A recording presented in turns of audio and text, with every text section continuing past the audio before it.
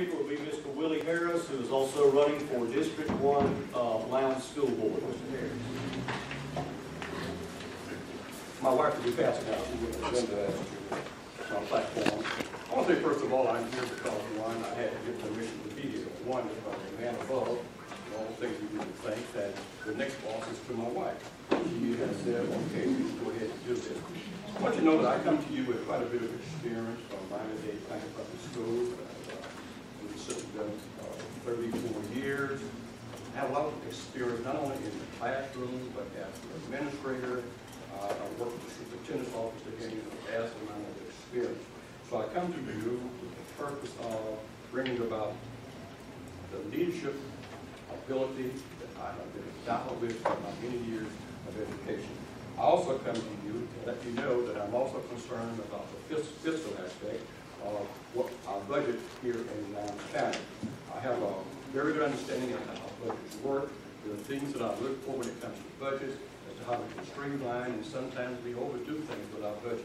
I'm also here because I think that we should have a diverse and unified uh, board. Uh, Our school mission says we're working together to empower, challenge, and inspire one Lowndes. I say this to you.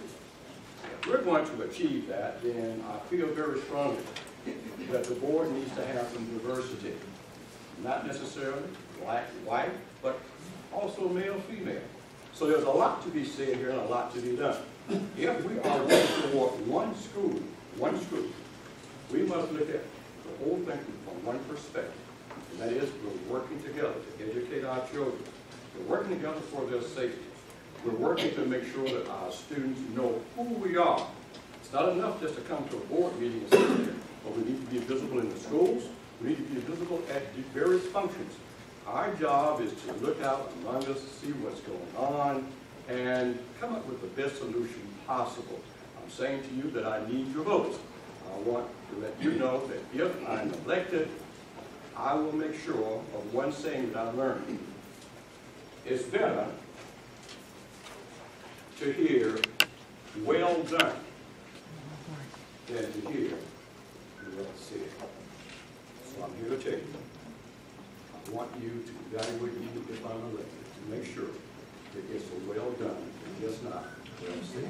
Thank you.